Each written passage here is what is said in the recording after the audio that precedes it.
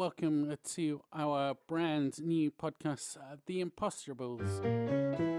Basically, anyone can be a creative, and it's the day to day creative things and challenges that we find that really interest me. And I'm sure a lot of people are wondering, like, how do I even start?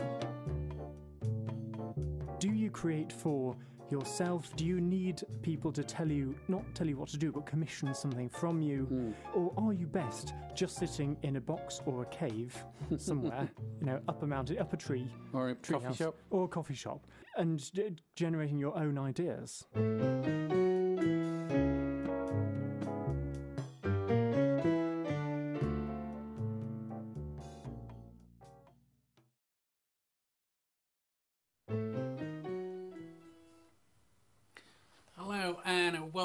To From the Mic Stand here on Artistic Echoes. We are down at our studio this week, and this week is going to be a little bit different because we are chatting about a brand new podcast called The Imposterables. And uh, I'm one of the hosts, one of the creators of The Imposterables, and I'm joined by my friend Charlie Omrod, who's the other host that you just heard. Hello.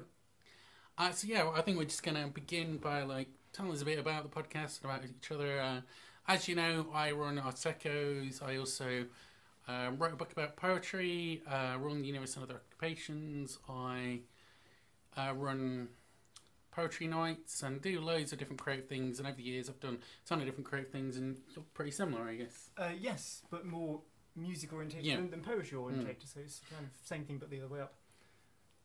And so, why did we decide to do this this mad podcast, The Imposterables? Um, because we were bored.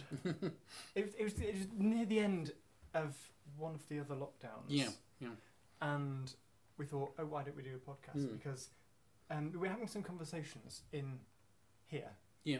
with um, regard to your other mic stand um, guests and where Mm. the most interesting bits about the the conversations tend to be with um, the subject of how people come up with stuff Yeah, and how they actually then get stuff out. And I think we had a conversation that was about my book, Rolling the Universe and Other Occupations, and it just went on for two hours. we didn't really chat about the book, we just chatted about loads of different weird creative Yes. ideas. Yes, we did. And also, when you get guests into the studios, they'll chat about the project they're working on and any Mm. struggles that they've had. And I just thought it'd be quite a nice idea to just put that into a podcast form, really. Yes, because people are always very happy to tell you about when things are going when things are going well, but also when Mm. they're really difficult to do. Yeah. Um, So that was part of the, the podcast. And we've had uh, a few content. different ideas and different formats of how we'd like to do this, and then finally we settled on this podcast, The Imposterables. I can't really remember how we came up with the name. Um, because it, it was something to do with your, one of your poems about superheroes. Mm. Um, it was off a conversation about that. I thought, oh, Right. why don't we make it a sort of superhero Yeah. name? Um, about how difficult it is to create stuff and put it down and actually Mm. finish something and then get it out into the world.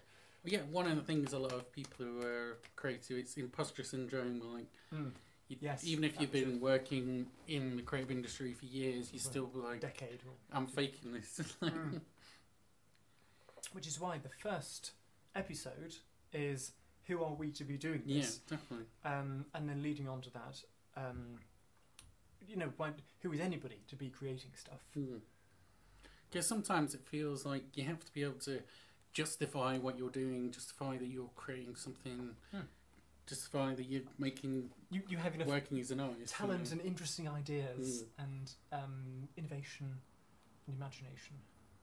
I, I think the first thing we kicked the podcast off was well, eventually after it was all recorded, uh, we decided to create our own little uh, theme tune for it to make it feel a bit more official. Yes. Uh, so you've written a piece of music for it, I've got a bit of poetry for it, and we just came together. Whereas well, my poetry was written well quite a while ago actually. yes, but- you do, you done the, the, the poem for it, but it fitted the the idea of the Hmm. podcast so well. So yeah, the idea behind the poem was like someone's reading your rights. I'm not actually sure if these are British rights or American rights, but it's what people always say on their TV shows. Yes, when you've been arrested. Yeah. this is And I was reading a book quite recently um, by Amanda Palmer, and she um, thinks of the imposter syndrome as the fraud police, and the fraud police will come along and uh, showed me that book. That was good. they'll come along and they'll basically arrest you because you're an imposter. uh, so yeah, I think that's the perfect time to do the theme tune and the poem. Uh, Do your poem. so yeah, this poem is called uh, "The Fraud Police." Sir, step away from the microphone. Sir, step away from the microphone. You do not have the right to create anything. Anything you can and will create will be completely ignored. You do not have the right to be paid. If you are paid, then you are sold out and your work is no longer credible. Do you understand the rights they have read to you? With these rights in mind, do you still want to be an artist? Yes.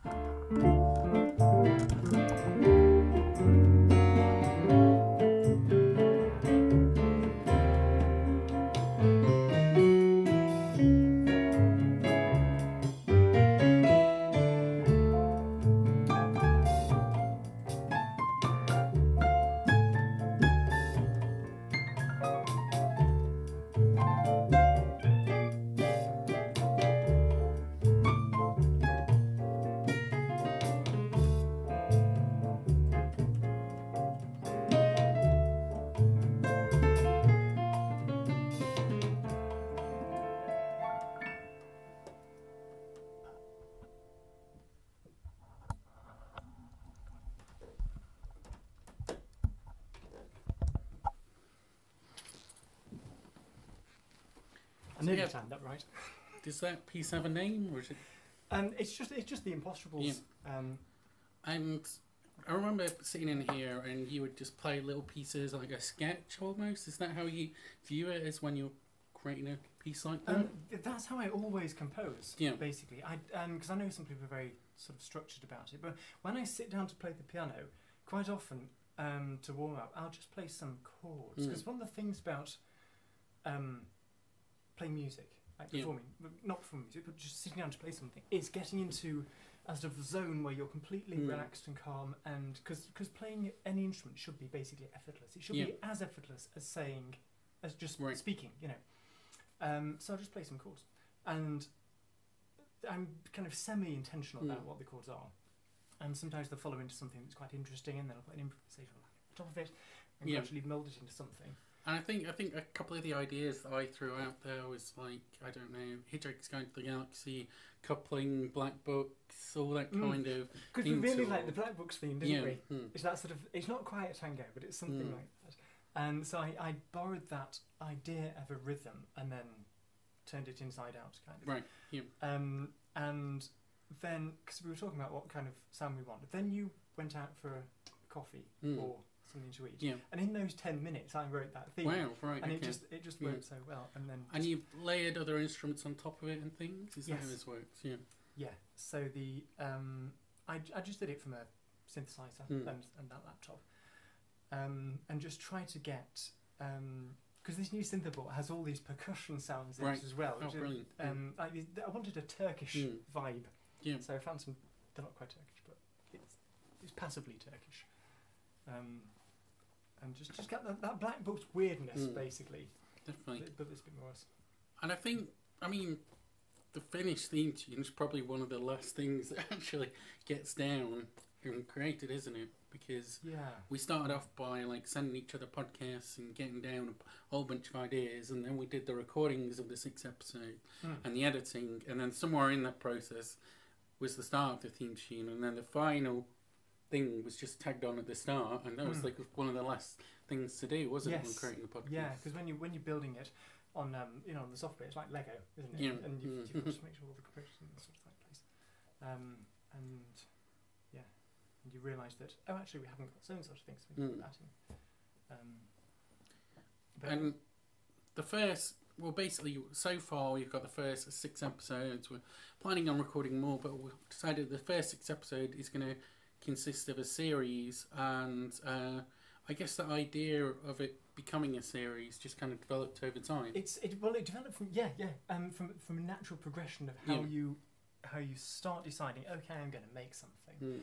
and then all the way through to um, creating it Yeah. finishing the damn thing, putting it out for you know to friends what they think about it, and then the um, the process of putting out to the rest world, Yeah. getting feedback, getting perhaps remuneration. If Mm. anyone would like to sponsor this um, podcast, by the way, um, yeah, just send a check in. Um, yeah, all that sort of thing. Yeah, and I think it took until like the second episode before we knew what kind of direction we wanted to create. Because I, I think the first two, the first one we just did how we do this, and then after building a few blocks, we kind of saw more of the pathway. And I wanted to Mm. create sort of like a story of like someone could listen to the first six episodes and they could basically have no idea what they want to create and not sure if they want to be a creative person and then by the end of it they could go through all these six steps and kind of create something i mean it's not really a a, res- a recipe thing like that but you could probably listen along to it and then think oh yeah i've had a similar problem to that It's and yeah, I think it's it gets around the imposter syndrome Hmm. thing. It gives you confidence that yeah firstly everybody else has it as well, um, but that if you if you listen through sequentially, you don't have to worry about anything because Mm. everybody else is worried about it before you. So just just go with it. It's fine.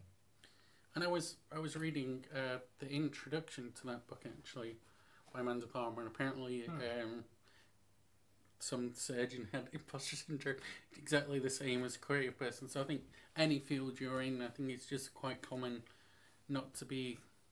100% confident in your abilities. I think if you are amazingly Hmm. confident in your abilities, you'll probably muck up because it's that worry that keeps you sharp, maybe. Yes, it is, but but also something that's quite interesting is the it's kind of what I was saying before about when you know you just when you're creating music or reading poetry, Mm. it should be the most effortless thing Yeah. in the world to Mm. do. Um, you you can't be worrying about other things, and you Mm. can't have absolute conviction that you are the best Yeah. to be doing that. You just you just trust that everything's going to be fine. Mm. That there's no there's no need to worry about anything when you're playing. And yeah, one of the episodes uh, we decided to do was all about uh, writer's block, and Hmm. that's quite a big topic. Um, I think I argued that writer's block doesn't exactly exist. You were like, what? does? I disagreed for at least 10 minutes before I Hmm. realised that actually. First of all, you meant something slightly different. Yeah, exactly. I did. Yeah, I- it was more that there is a writer's block, but you can all you can find your ways around it. Was basically my Yes. point, and um, it's it's kind of been create. It's kind of been created into something bigger than it is. It's something more to worry about Hmm. than like it, there isn't an actual physical like rise block there for actually worrying about. It's more the it's, it's like become a really big psychological thing, whereas Yeah. you can find little, loads of little different ways round about it. And uh, yeah, I, one of the episodes I wrote a poem and performed that for that, so I thought I'd share it with you now. Uh, just a bit of a preview. Um, so this one is called uh, Writer's Block. How do you overcome a writer's block? Do you run into the wall, smashing your head against it again and again? Do you put it off? Sit there reading a book till the wall gets up and walks away. You pick up a spray can and deface it, with lurid manic ravings and little doodles of stickmen playing catch? How'd you come over writer's block? You call up a friend and climb over on a ladder wrought of their imagination? You chip, chip, chip away till the wall comes crumbling down? Do you craft a wrecking ball of raw emotion and just smash on through? Came in like a wrecking ball. And now that song is stuck in your head, and you never write anything now, just a deaf rant about writer's block, like every other tired poet out there. I love that line in the. Um, the what was it lurid? Deface it with lurid manic ravings Lurid- and stickman playing catch. Yes, the rhythm of that is it's sort of crunchy. Right, okay. It's like you know when, when you when you're walking across the gravel driveway, Oh yeah, it's Hmm. it's that kind the of crunchy. susurrus. Hmm? Uh, it's when you're walking through leaves and um, the sound of the leaves when you're walking through and goes. That's a susurrus. That, that's that's a susurrus. A susurrus. A susurrus. Yeah. I don't know if it's used for other things, but I remember that being a I didn't know that word. Yeah, That's lovely word. can't remember where I saw it. Probably QI or something. oh. Yes. Uh, yes, that is um, the theme of one of the pieces. It's all about writer's block. Um, yeah, we cover a whole variety of different topics in the Mm. podcast. Um, do you want to? Yes. So, um, yeah. Sorry. Um, the um, the the writer's block thing is just one more thing I kind Mm. of wanted wanted to add to that, which is that when you're stuck for something to say, like like then when I thought of fifteen things to say at Yeah. once and then didn't pick one, which happens quite a lot with me, um, is that you you're always capable of of putting two words together Mm. aren't you, and two ideas together. And um, from there, you can create something which is rather more expansive from that point. I think the the genuinely difficult bit is, which we get to towards the end of the series of the podcast, is um, how do you then find an audience Yeah. for that? Mm. uh, which is currently what we're trying to do at this point. Now we're Mm. marketing it, um, and that's that's one which I actually I'm going to be really interested in when we do a, an, another series of this. When we start speaking to other people about how they um, they market their stuff, because in, in the next series we're, we're planning to have more people, more guests, and, and more questions as well. So please do send send in questions about things. Um, and whether you're performing stuff live or whether you're trying to just push through the in, you know through internet channels and that sort of thing. And I think big- I think big one of the key things is knowing what your audience is, because then you can like,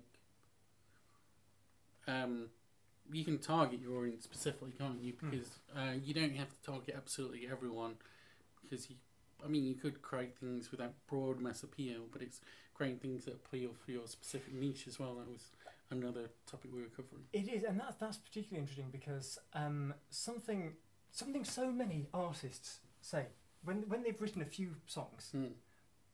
they'll quite often go, "I'm going to write something more commercial now," Yeah. and it's always terrible. Hmm. like without fail because they're trying to be, they're trying to be something they're not. Yeah. Um, and until you've written some stuff and you know what your own style is, Hmm. whether literary or musical or whatever, um, you the, the audience will find you to some extent. You go and perform it like everywhere, everywhere you possibly can, Hmm.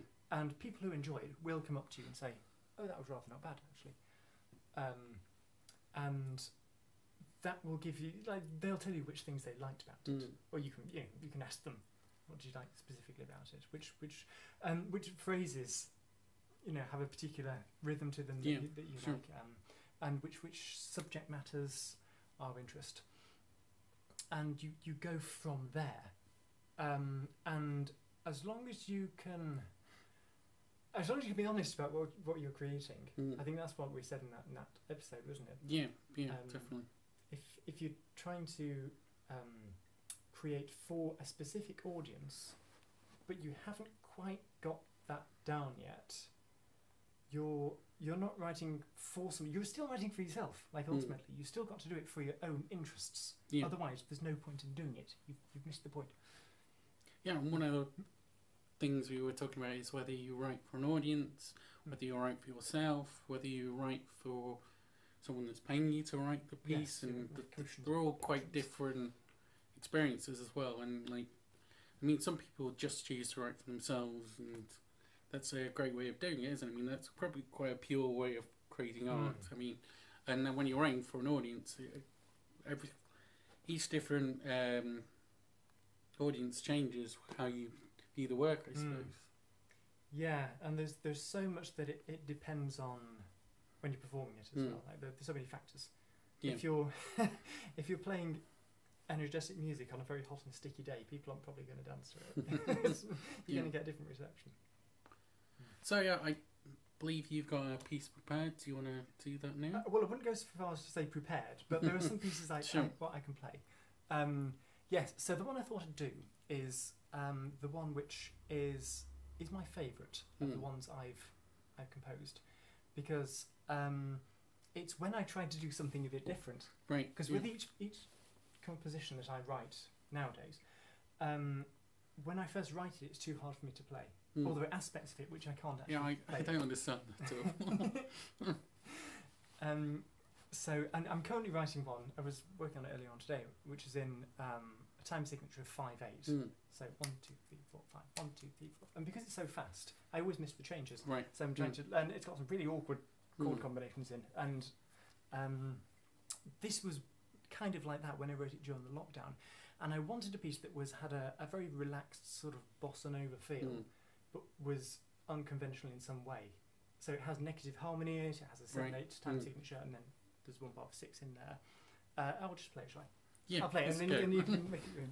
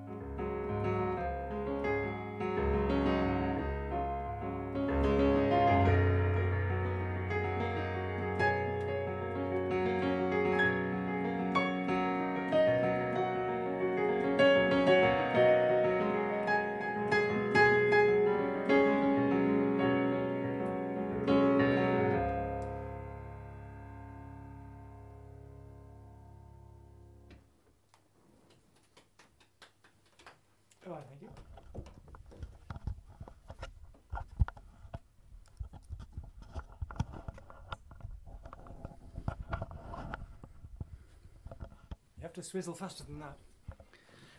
it got a bit swizzled it differently. anyway, that we um behind the scenes information there. We were turning our Tascam around and uh, so that it could capture our beautiful conversation instead of your beautiful music. Uh, yeah, so another uh, couple of topics that we covered. I mean, there's probably tons more that we've missed, and you can catch them on the podcast. But uh, two main ones I wanted to just quickly go over was the fact that uh, one of the main really important things is keeping going, and the other main important things is deciding when it's done. Yes.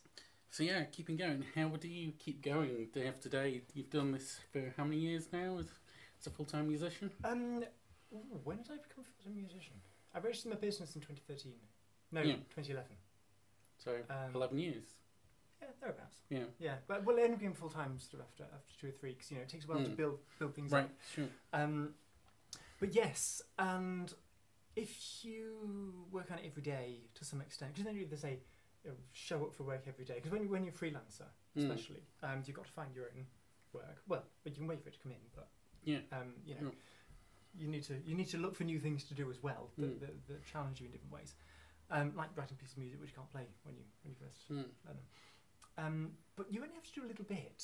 Like you just have to do something that interests you. And if you're doing, if you're trying to do the same project for a while, you need to perhaps change things up. Especially like you, Yeah. if you're somewhat distractible.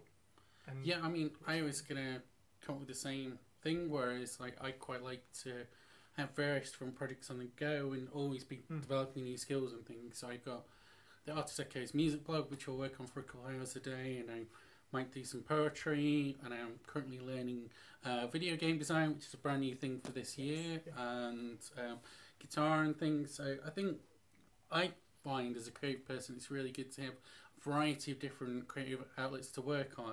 And that also helps with writer's book. So if you Mm. get stuck on Mm, one yes. project, you can switch to another. Uh, yeah, I, I do like having variety of different projects and Yeah. always something new and different to work on. I think that's yeah, exactly. Yes, you've, you've got to keep the, the novelty aspect of Mm. it going for the for the, the dopamine, um, as well as the well, we'll come to it in a minute. The Yeah. satisfaction of actually finishing something.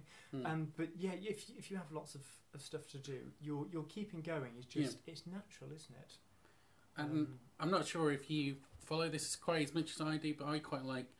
I think records are quite uh, keeping records, not music records, but keeping records of what you've done is a really important part of uh, yes. keeping an idea of what you've on. So, like, at the end of each day, I'll keep a note of all the things I've worked on, and I might um, create compilations of all my poems that I've done, worked on in a year to see Mm.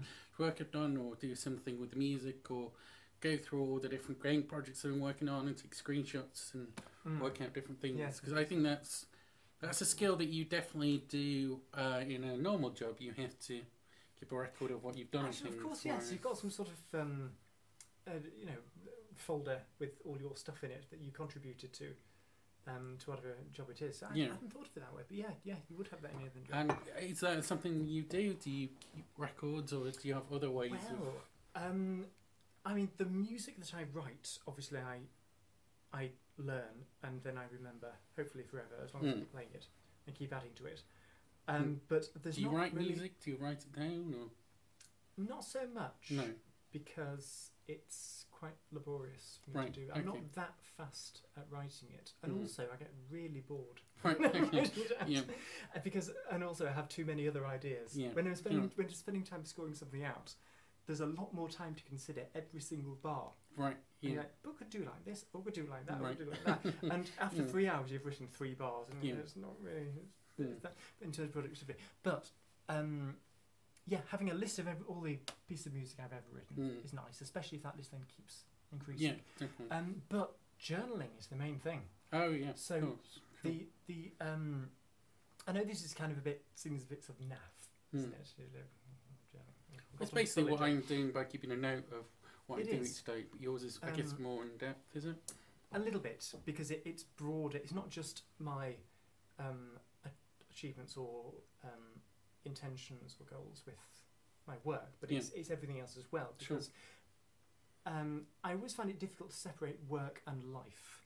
You know, um, and actually, I don't need to Mm. really because to me, you know, the, I don't have office hours. Yeah. I can, Sure. whenever I've got free time, I can come and faff around on, the, Mm. on the piano for a while. You know? um, and if someone wants to book a lesson in with a few hours' notice, like if I'm free, I just do that. If, Yeah. if I've not got Mm. anything, you know, Mm. anything planned.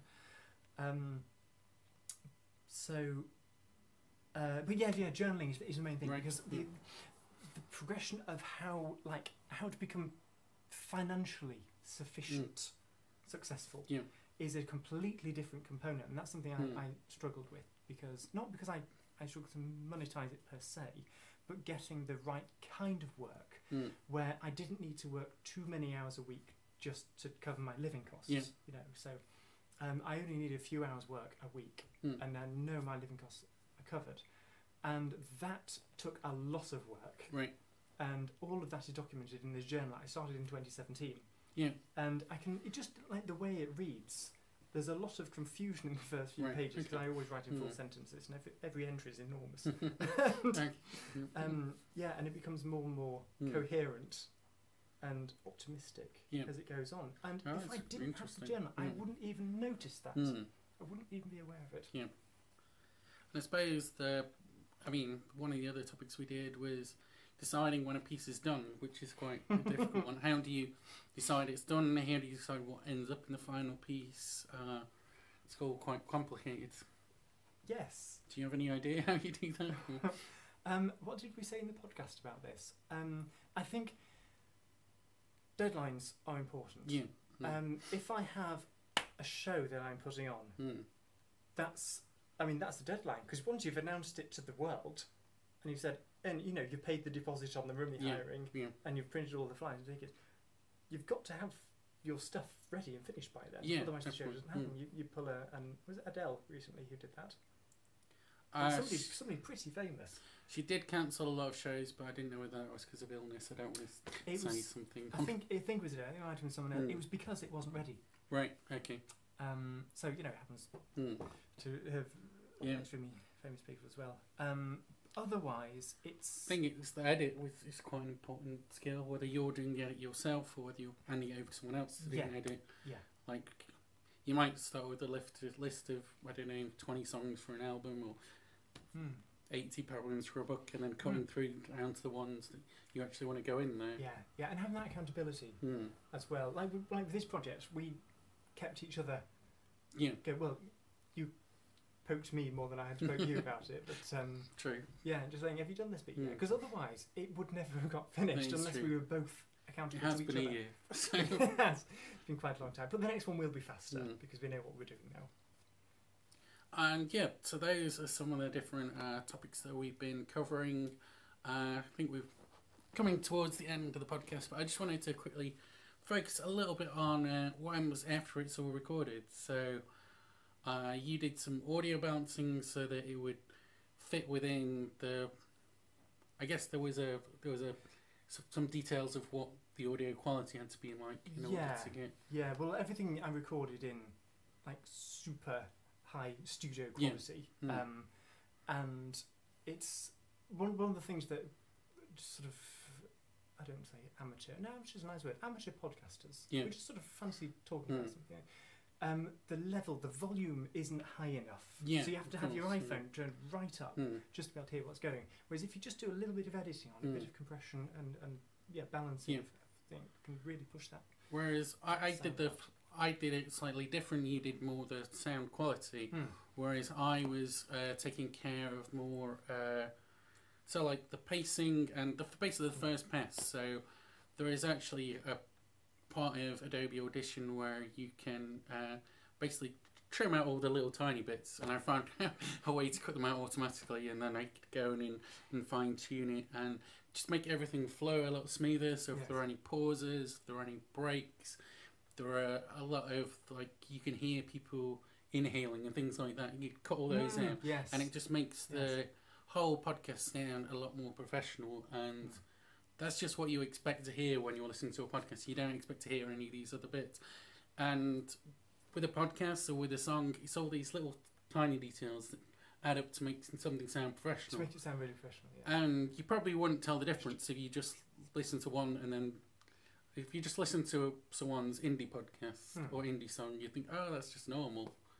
Then if you Hmm. listen to it next to one that's really well produced, there's a gulf in class. There and I really think that is. makes yes. the whole difference on a podcast like we're doing Hmm. or on a on a big production, no matter what you're doing. I yeah, yeah, and giving it to somebody who knows what they're doing Mm. is actually a valid thing to do um, as well. So, like the, the, the bits where you're chopping out the bits where I am, um, Yeah. when I just get stuck, like I was saying before, 20 different ideas and I don't know which sentence to pick. Um, so just say nothing for 30 seconds whilst my brain sort of works out. what's- So yeah, going on. hopefully my level of audio editing is up to scratch.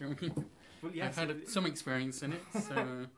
yeah, no, And yeah, as we spoke about earlier, another thing that sets it apart is hopefully doing the theme tune, doing the podcast intro, and uh, we create some artwork. Well, I did some artwork. You did, Uh, uh, the idea in the artwork is basically just uh, we have Charles at the piano, me at a writing desk, and we kind of had silly capes, Capes on, on. as though, uh, you know, like your kids, True, basically. true. Yes. And it's like it was just quite a rough uh, sketch. I do quite rough sketches of um, loads of things just when I'm working, and uh, I just did the two of us, and then I put it through an app that kind of basically when you're doing, when you're creating cartoons, they do a sketch and then they pen over it in ink. Whereas I just use an app to do that, and then I Okay. put it through Photoshop and did a second edit and added uh, the name at the bottom and just do loads of tweaks in Photoshop to get it up to standard and Okay, that's kind of what I did with the theme tune actually, because it is Yeah, just exactly, a sketch yeah, that you mm. then polish up a little bit. And Basically, it is the same as the theme tune. I was Mm. wondering whether they were the same, but yeah. So yeah, you start off with a basic sketch. You, I could have inked it out myself, but I found an app to ink it out basically, and then I went through all of it just with a fine tooth comb basically and Hmm. Uh, straighten it out in there.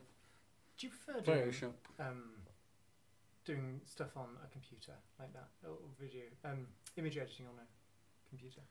Uh, yeah, I think you can get a lot more uh, detail into it on on a computer. More, well, I'm, I'm just more used to using a Hmm. computer. I suppose if I had a pencil or something on a, you know, on an iPad, an iPencil, Yeah. I could do yeah. it like that. But I just, I am much more natural using a mouse and keyboard than I am just uh, doing it anywhere That's else. interesting. I'm completely the opposite with Hmm. everything. I need analog Sure. stuff. And then the final uh, stage, t- once the once it was all completed and we put it all together, we sent it out to a few people to listen to. So uh, thanks to those, I believe Erin listened to some of our Hmm. podcasts and um, probably some other people. I don't know if you want to. Uh, yeah, I, I, who did you send it out? Chris Tunstall. Yeah. Yes. So yeah, um, Chris. It's always great to get a bit of feedback. And then the final thing we have to do is get it out there, which I was amazed how easy it is to actually get a podcast out there these days. Uh, probably quite similar to when you're putting your songs on Spotify. Uh, there is a page that we use, there's probably loads of different ones, but we used Anchor FM. Uh, so you sign up for an account and then you can upload the podcast to Anchor.